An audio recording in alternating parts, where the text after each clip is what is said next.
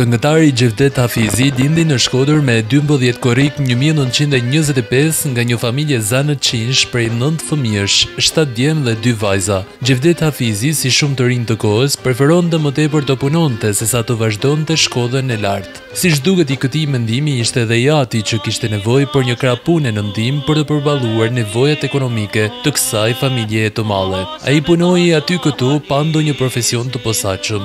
Si fëmijë ishte shumë i shkathët dhe shumë i zoti për t'ia dalë në krye të çdo pune.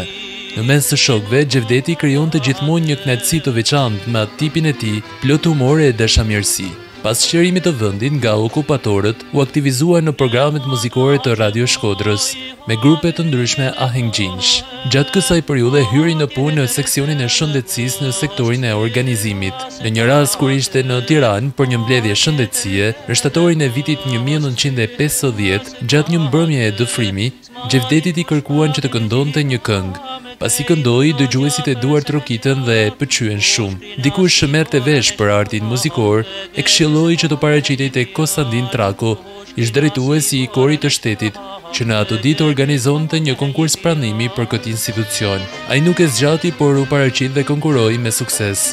Kështu Xhevdet Hafizi, që nga viti një mijë e nëntëqind e pesëdhjetë, u vendos në Tiranë për të mos u kthyer më në Shkodër. Transferimi i Xhevdet Hafizit në Tiranë ishte një eveniment shumë i rëndësishëm për jetën e tij artistike. Ai aty u njoft me njerëz të artit që ishin shumë më të përgatitur se ai dhe influenca e tyre u duk shumë shpejt, si nga ana vokale ku për hir të së vërtetës në këtë drejtim e ndihmoi shumë edhe puna që bëhej në Korin e Shtetit nga mjeshtra si Trako, Sokoli, Nova e të tjerë. Ai jo vetëm që filloi një jetë të re, por bota e njohjes tek ai zgjerohet shumë, si me një shoqëri të kulturuar muzikore, por edhe profesionale të zërit.